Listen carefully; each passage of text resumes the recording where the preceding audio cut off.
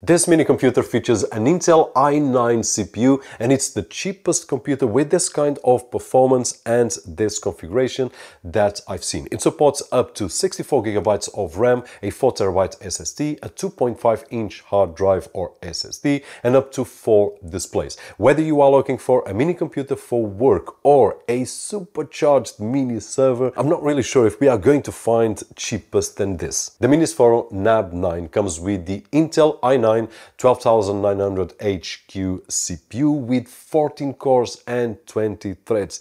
This is a small beast. There are two models and several versions available. The barebone version at this moment costs 370 euros, allowing you to install your own SSD, up to 64 gigabytes of RAM and 2.5 inch SSD or hard drive. And it has a very clever system that we can just push these buttons. I can just lift it, I can work on it, put some RAM, the SSD and so on. And I can also insert the 2.5 inch right over here. And it comes with this cable that I can just insert on a computer.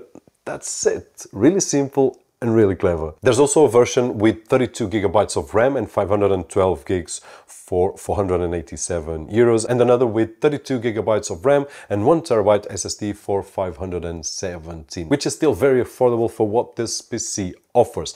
Then there's the NAB 9 Plus, which is this one that I've got right over here. And the main difference is this connection here, which is the OcuLink. And this will allow us to connect this computer to an external GPU so that we can improve the graphical performance of this computer. But if you don't need the OcuLink connection, then the base version that we have seen is the best choice because everything else is the same. The internal configuration is exactly the same, the CPU and so on and so forth, which is amazing the price that it has for the performance that it offers. This is a machine capable of handling demanding tasks like video editing, for example, which is what I do, thanks to the powerful CPU that it has, the i9. In fact, if we take a look at Geekbench results, it will back that up. In real-world usage, particularly in DaVinci Resolve, it performs similarly to some of the machines that I've got here. For example, my MacBook Pro with the M1 Pro is more or less with the same performance and it's an incredible machine.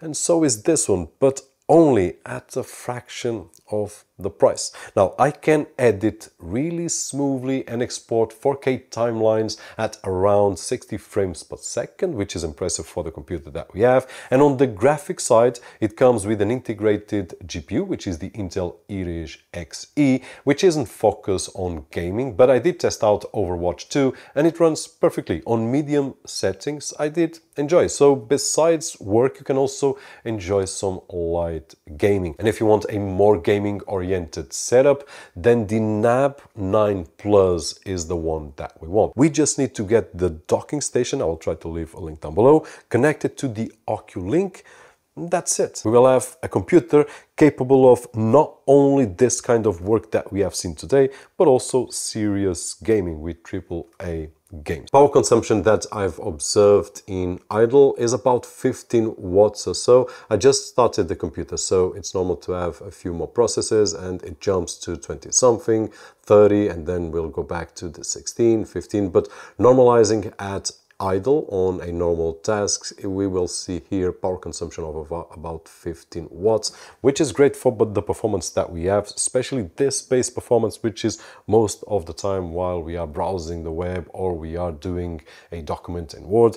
But let's push it to the max and check it out. And now all the cores being pushed out 100% on all of them on a synthetic benchmark. And we can see that it will jump to the 94 95 watts which is a lot. I said that this is a beast. So it can deliver a lot of work.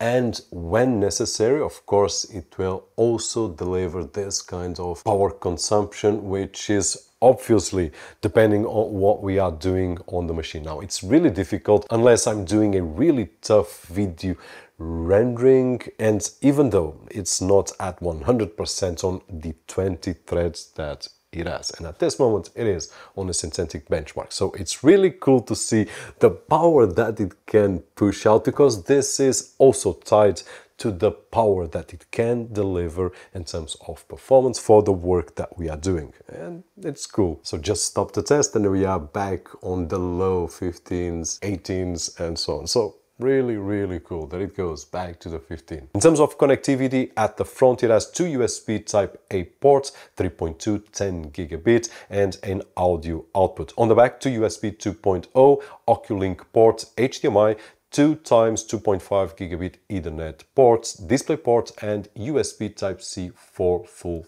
featured. And inside the box, besides the PC itself, it comes with the charger and accessories like the SATA cable that I used to place in this 2.5 inch mechanical hard drives. So whether you are looking for a mini computer to have some really serious work done as we have seen in terms of video editing, for example, or similar tasks, or if you are looking for a mini server for your setup that we have seen quite a few right over here but you want something on steroids which is the way that I look at this mini server then this is a great option. And the best is that the price, at least as far as I'm aware, is one of the best that I've seen. Hopefully you've enjoyed to know the NAB 9 Plus and also the NAB 9 as I mentioned. I will leave some links down below. If you did, don't forget the usual thumbs up right over there, which is really appreciated on this side of the screen. My name is Roberto Jorge, and as always, I'll see you on the next one.